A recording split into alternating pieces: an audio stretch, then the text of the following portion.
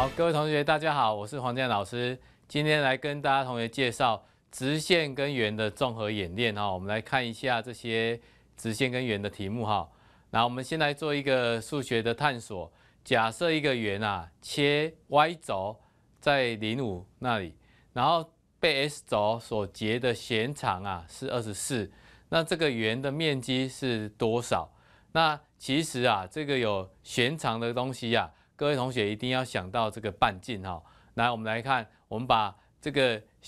这个圆心啊，到这一条直线的那一个距离，把它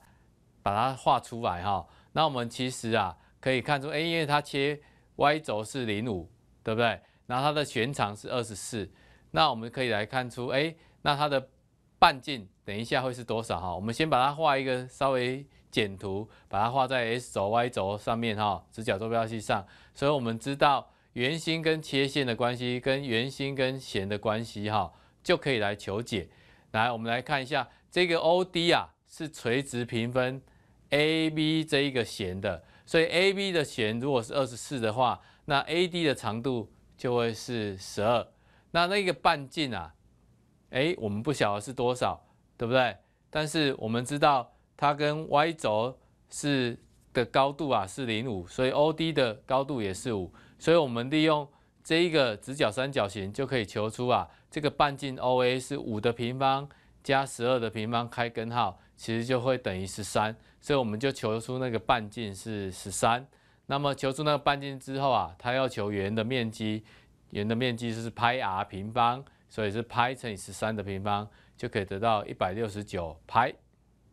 好，所以这里我们要知道圆心跟弦的关系哦，尤其是这一个 OD 会垂直平分那个 AB 的弦哈。反正如果有这一个图形出现的话，记得把这一个三角形把它画出来哈。所以我们啊来看一下这一个在解解题的时候，或者我们在读题的时候啊，应该要配合条件的提示，还有啊先阅读一下，然后把它正确的作图，再配合题目上。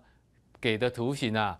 把它正适当的标注跟注明，这样子啊，我们模这样子我们把它动动手演练，会有助于我们几何能力的启发跟转换哈。那建议啊，我们各位同学在以后的练习里面，其实这里圆呐跟直线，你可以多画图来帮助自己，那是有助于你的解题能力的提升。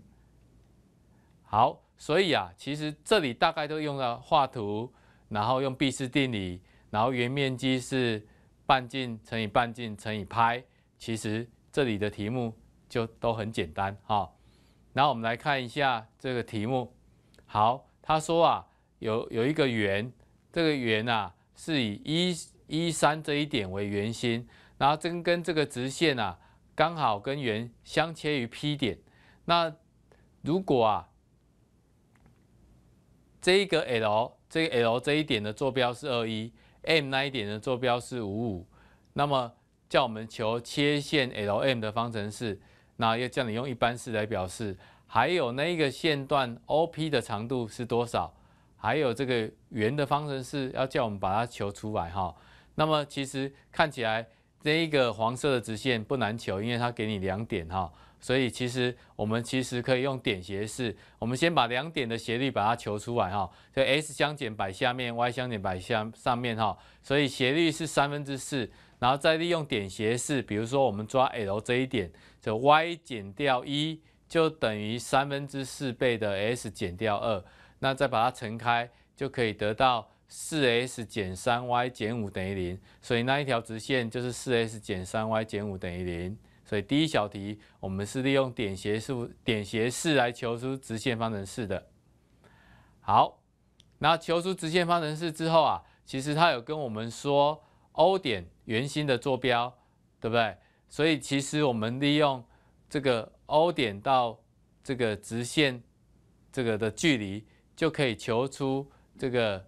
这个 OP 的长度。所以我们利用啊这个点到直线的距离，所以。我们 O 点到直线四 s 减三 y 减五的距离，就会公式是这样哈，这根号四的平方加负三的平方，再把 O 点一三把它带进去，取绝对值摆在分子，所以得到这个距离就是二啊，就五分之十就是二。所以啊，这个二其实啊，因为它是切线嘛啊，所以这个二其实就是那一个半径。所以圆的方程式啊，就可以得到圆心是一三，半径是二，所以我可以做标准式 s 减一刮弧的平方，再加 y 减三刮弧的平方等于四。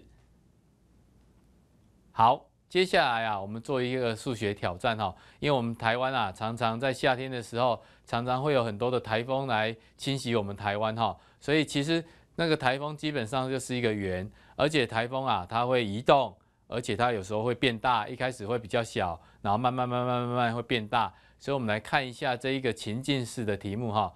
他说啊，有一个圆的方程式是 s 减一的平方，再加 y 减二的平方等于十六。好，那它啊，这个叫做海神台风啊哈，它上午九点的时候是一个十级暴风圈，就长这个样子。那它的圆心在一二，半径大概是四啊，十六开根号是四。那么它会朝着西北的方向。啊，距离前进三根号二，那么三个小时之后，这个十级暴风圈啊，会一定的速率扩大为原来的一点五倍哦，也就是它的半径本来是四，会变成一点五倍。那么我们等一下再来求这个十级暴风圈，等一下在坐标平面上的圆方程式是如何哈？那么如果它的速度跟增强的趋势，我们跟气象局来预测一下，这个有一个岛屿在零时那一点，它是不是会笼罩在这一个暴风圈里面？我们先来看一下，哎，它会往西北移动，对不对？所以往西北移动三分三根号二，那事实上它是往斜的移动啊。那我们看到那一个三角形，它斜的移动三根号二，事实上它是往左移动三。往上移动三所形成的移动那个三三根号二，所以它本来的圆心坐标在一二，就会跑，因为 s 轴往左移了三，所以它的圆心坐标会变成负二，s 坐标会成变成负二。那 y 是往上移动三，所以 y 二再把它加三之后，它往上移动，所以圆心坐标会变成负二，然后 y 坐标会变成五，所以啊。它的半径本来是老师刚刚说是十六开根号是四，它题目说它会变成一点五倍，所以半径会变成六，所以这个新的一个十级暴风圈呐，所形成的圆方程式，因为圆心跑到负二五了，所以就会变成 s 加二刮弧的平方，再加上 y 减五刮弧的平方，半径变成六，所以这里是等于六的平方是三十六，所以新的圆方程式就是 s 加二刮弧的平方。加 y 减五刮弧的平方等于三十六。好，那我们要来看第三小题。他说，那临时那一点会不会在这个暴风圈里面？哈，那么事实上我们也可以画图来看一下，它大概不会在暴风圈里面了哈。那我们也可以利用它跟新圆心的距离，就是零十这一点，它到新的圆心是负二五这一点的距离。其实我们把它用两点距离公式一算，它等于根号二十九。根号二十九啊，它是比半径六还要小的，所以其实这一点红色这一点，它就在圆里面，也就是它其实就是在暴风圈里面。那这是一个很好的一个情境式的题目哈，那跟我们台湾的所在地也很有关系哈。那这个就是圆跟点它之间的关系。那以上就是老师跟大家介绍的直线跟圆的综合的演练。